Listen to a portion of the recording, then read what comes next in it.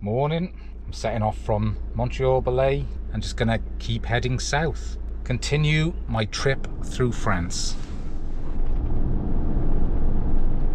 I fancied a driving day today. Um, I do like driving over here, it's nice and it's a nice sunny day. And I thought, yeah, I get some ground covered, so that's the plan. It's a camping car park place, so nice and simple. And it looks like there's some nice rides around there, maybe some hikes. I'm on a canal. Yeah, it looks like a good place to go. And I'm working my way south, so hopefully it's going to be warmer.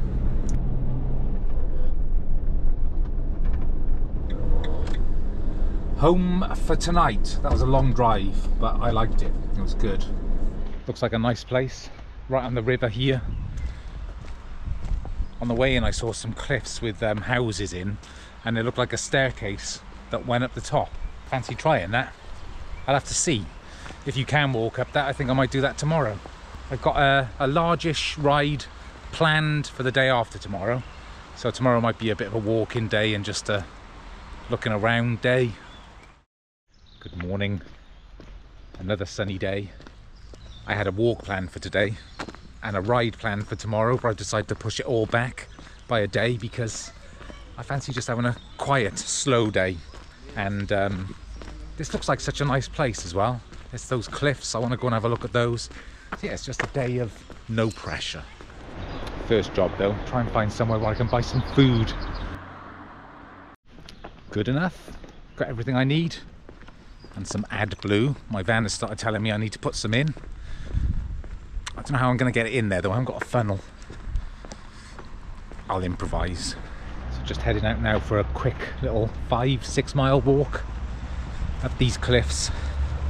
Got the drone with me. Thinking uh, I should be able to get some nice shots. This is such a beautiful little village.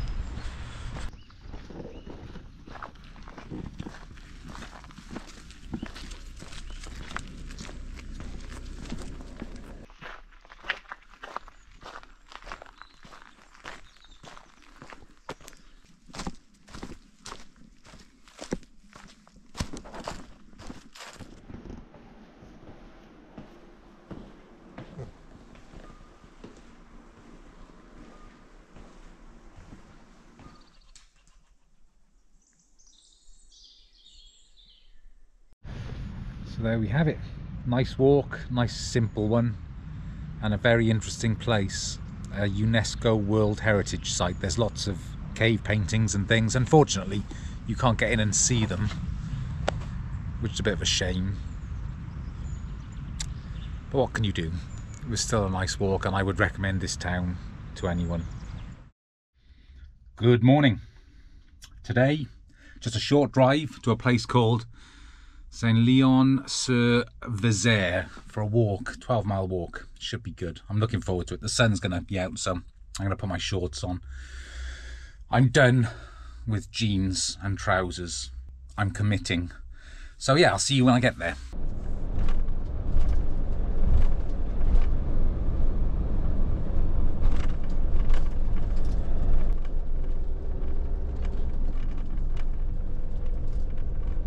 Found a perfect parking spot for tonight.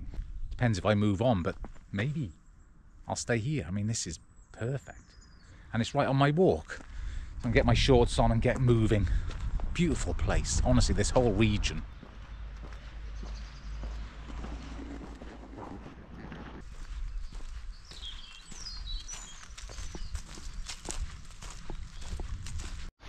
Pasty legs. But it's so nice to get my shorts on. This is the best day of the year so far by far. It's nice and warm, sun shining, nice cool breeze as well. Absolutely perfect. Some of these places seem to be everywhere. I mean, is someone living in that? I'm gonna guess Eric Cantona or that other famous French guy. You know the one. The actor. Him. I just used Google Translate, which is incredible. And apparently, I've seen lots of these. I don't know if you can see it from here, the little squares in this cave. They used to breed pigeons. I think for food in the 11th century, unless Google Translate has it completely wrong. Look at this. This Japanese knotweed. I used to work trying to get rid of it. We used to burn it and spray it and do all sorts of things that you wouldn't be allowed to do now. And there's no killing it. You have to dig up each individual root. But of course, there's thousands of roots in even a little patch.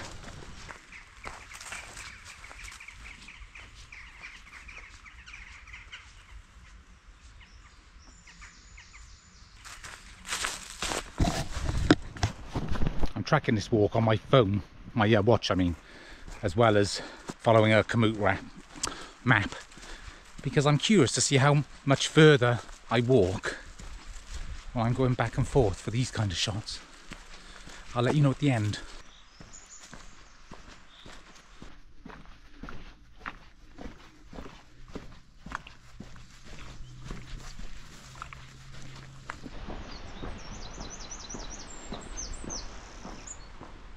This is very cool, the Rock of St. Christopher. It's a network of caves and tunnels. The rock is one kilometre long and 80 metres high. And people lived there between 50,000 BC and the late 1500s where it was destroyed. It says in the Wars of Religion. So a troglodytic city. Very cool place.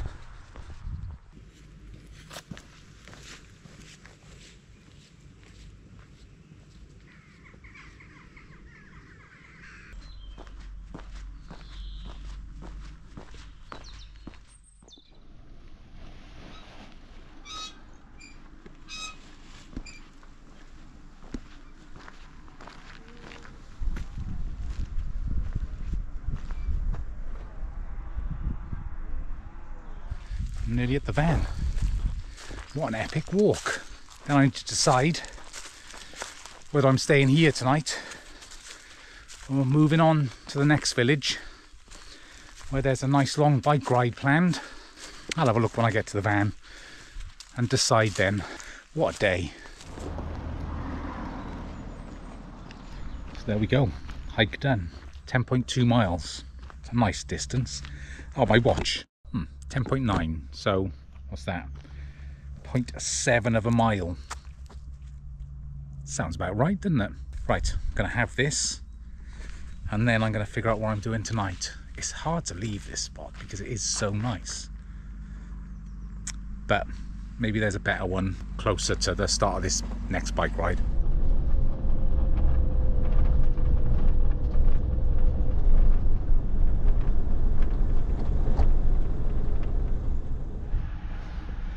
first time filling up with LPG or GPL as it is here. I have no idea what to do, but I'm going to find out. I know I need this adapter, so wish me luck. Success.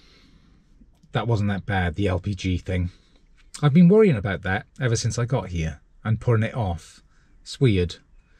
I am a very anxious person. You might not think it, but I am every time I have to do something new, I always play out that scenario over and over and over again. And it always goes wrong. I think that is probably a good definition of anxiety. Anyway, I'm at my park up for tonight. I'm in Vezac. Vezac. And it looks good. I know you won't see it really, but there's a really nice looking chateau up there and Ross has planned a ride for me tomorrow so I'm pretty certain he'll have sent me up there. So I need a drink. I'm hot. It's actually hot. I've had the aircon on in the van. Very cool. Beautiful day. Bike ride day. Getting some snacks together. I've got flapjack apple orange and I'm gonna hard boil a couple of eggs in the air fryer. That should keep me going. I don't know if you've noticed but I haven't actually been in one single cafe or restaurant since I've been out here. That's 10, 11 days. It's strange. I think it's because I'm not drinking coffee and I can't imagine going into a cafe and not having a coffee. So this getting off caffeine not only has given me more energy, but it's saved me a lot of money as well. All packed up, ready to go. What a day. I've had to put sun cream on. First time. absolutely perfect. And there's a nice cool breeze as well. This is probably as good as it gets for riding conditions. Lucky me.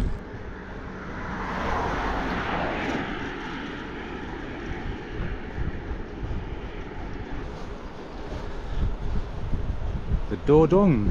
Dordogne. Dordogne.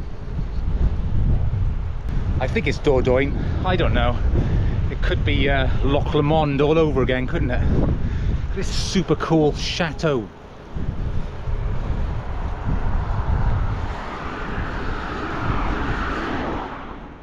Looked it up. Dordogne. I think I was right. But this is the Dordogne River.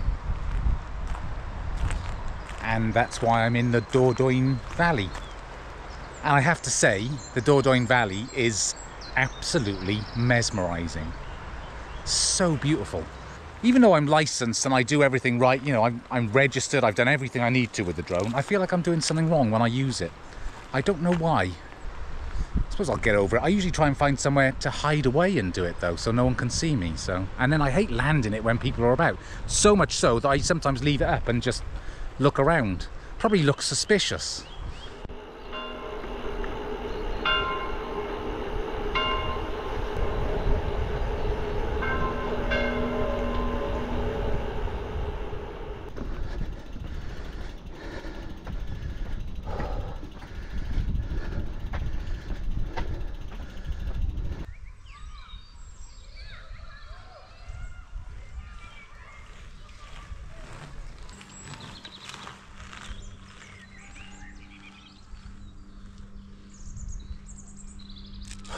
Energy. That was a decent climb. It's not over yet. I've already figured out a couple of things with the bike. I need a better climbing gear. This is a red grade, about 9%, and I can do it, but there's no weight on this. So yeah, I think I need a, a better climbing gear. And I think the thing to do is to put a smaller chainring on the front. I don't really know. I'm no expert uh, with anything, but uh, I'm going to do some research. Also the stem, I found my hand position is slightly higher and a little further towards me. So I think I need a shorter stem and possibly one of those ones that angle upwards. Um, my natural hand position always falls not in the hoods but just a little further back and uh, I think that's that's what I'm going to do. I mean that's what this trip's all about, training and um, learning about the bike. But for the Trans Am better climbing gear, I'm going to have a lot of weight on here. And there's going to be a lot of climbs like this. And they're likely going to be harder. Anyhow.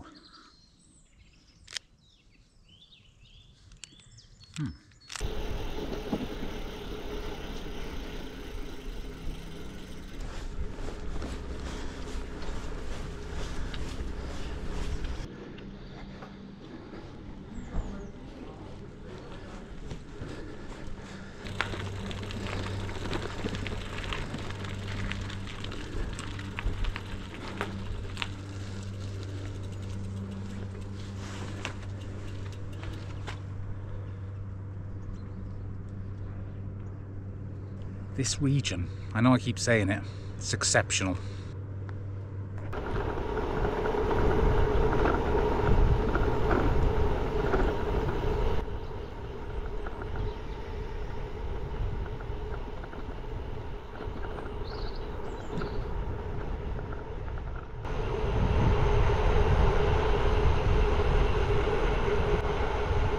Montfort.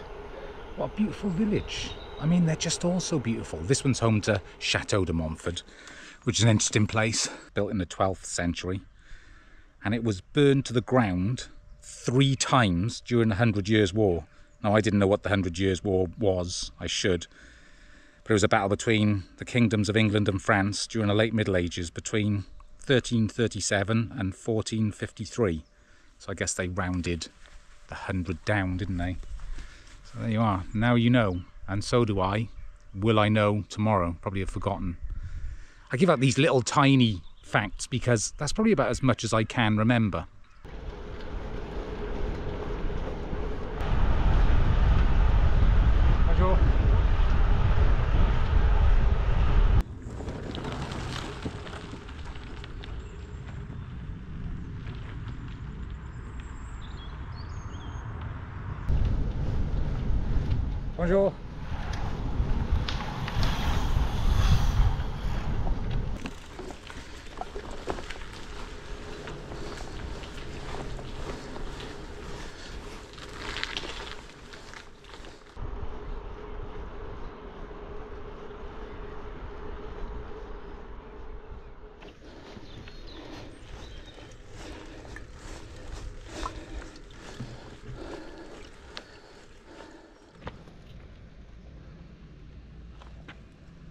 I wonder why they do that.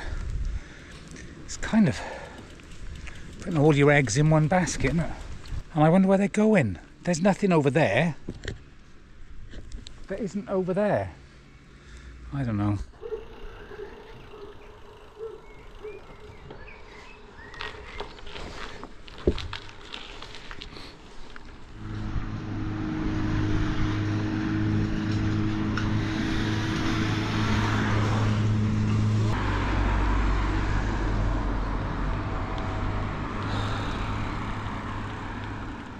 So that's the end of the ride in Beynac et Cazenac. I think that's what it is. I think I'll get the drone up, show you that fortress, and that will be that. I'm going to go back to the van. I am hot. I don't think I'm burnt, but I might be. Awesome ride, epic place, fantastic country. So there you have it, Chateau de Bainak, another 12th century chateau apparently the best preserved in the region. Absolutely stunning place. I know I keep saying that, but I didn't know. I just read this was in French hands during the Hundred Years' War, but everything north of here was held by the English. So I think I'm going to do some research on the Hundred Years' War. I'm going to go back now. I'm going to have a beer and I'm going to have fish soup, I think, or maybe just cheese and biscuits. I don't know. I'm tired. That's worn me out. It wasn't that far, but I'm a bit out of shape. A lot out of shape. I know you have faith in me to get back into shape for the Trans Am. And I will. I forgot to mention, all told, the ride was 39 miles, so not that far. But um, yeah, I felt it, definitely felt it. This is some of the best cycling I've ever done. Now, I haven't done a lot. I know that. But of all the places I've been so far in France, this, the Dordogne region, is remarkable. See Beynac over there, look, still. Am I pointing? Kind of there. Anyway, yeah, beer. My poor old drone. I have to put him like this when I'm downloading. Otherwise, he makes this sound. I don't think that's right. It's been doing it for a while. But I've definitely anthropomorph anthro anthropomorphized. Is that right? Him, I think that means sort of imbued him with a life. Because I feel guilty when I do this, because I think he's confused. He doesn't know what's going on, why he's tilted. Like a little bug. He may need some surgery. My first and only coffee of the day. I know it's a big one and it's a strong one, but yeah, it's the only one. It's funny how quickly caffeine gets out your system. I don't even think about coffee. I really don't. I um I don't crave it, even the first one in, in the morning either. It's just a routine. And like I said yesterday, I'm just not going into cafes and things like that. Um, I just don't see the point. I'd only go in a cafe for a coffee. Usually, then I'd have some food just because I'm in there, whether I'm hungry or not. At least a cake or a pastry or something. So I'm saving a fortune. I haven't actually spent any money in cafes or restaurants. In fact, I was keeping a loose track of the finances on this trip and that the whole trip needs to be done on a budget just because it's so long and would be unsustainable. And I think on average, I'm spending about less than 25 euros a day in total, including fuel, everything. Less than 25 euros a day. And I'm sure, you know, my regular viewers will know I'm not showing off, flexing, or whatever else. But that last video, the GDMBR full movie, is doing so well, and the watch time is really good on it, and it's making more money than that. So at the moment, YouTube is making more money than it is costing me to live. And I, can't quite get my head around that. I don't know how that makes me feel. I mean, I'm pleased, obviously. And there's two of us in this, obviously, Ross and I.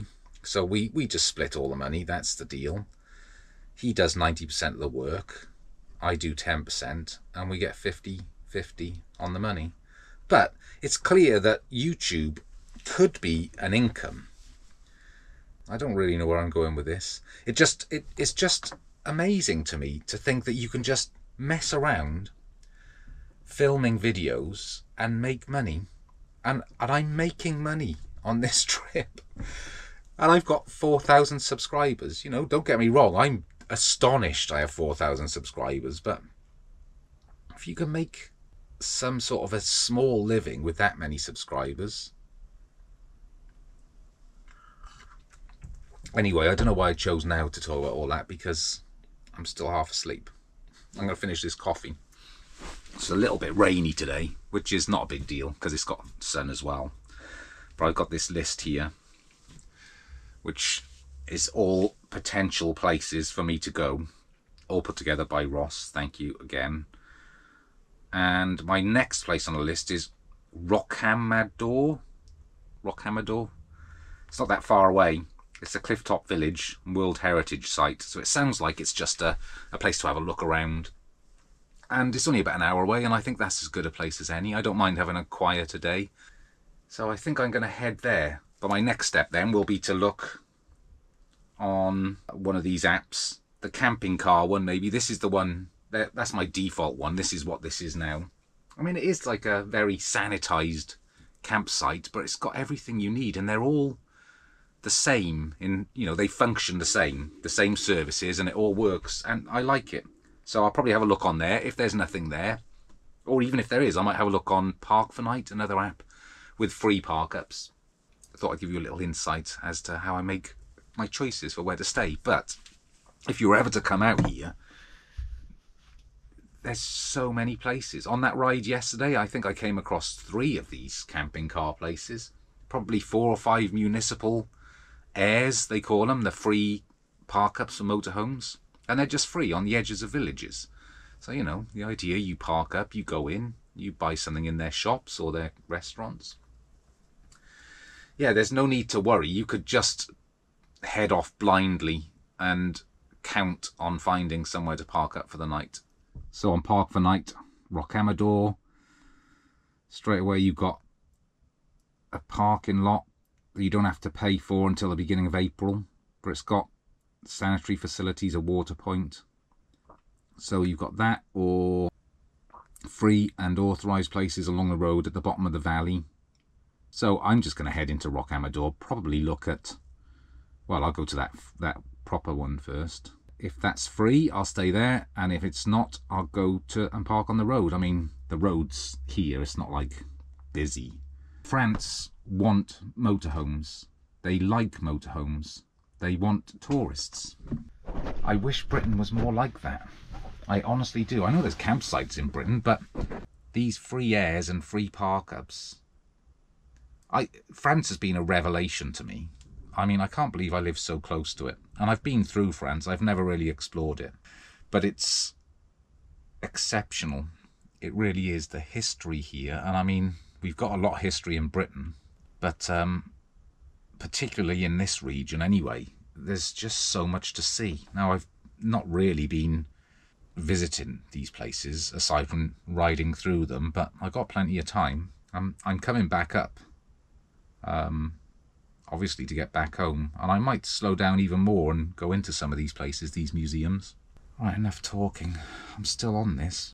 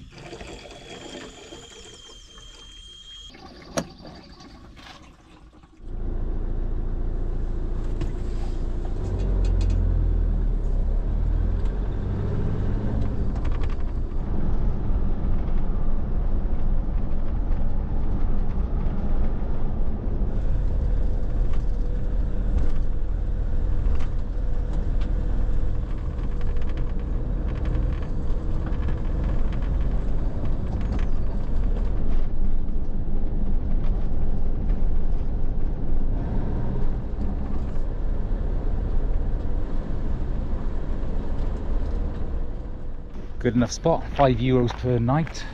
Can't really argue with that. Quite an impressive place. Rocamadour this uh, camping spot is just up the hill from the town so I've got an incredible view down into the valley there.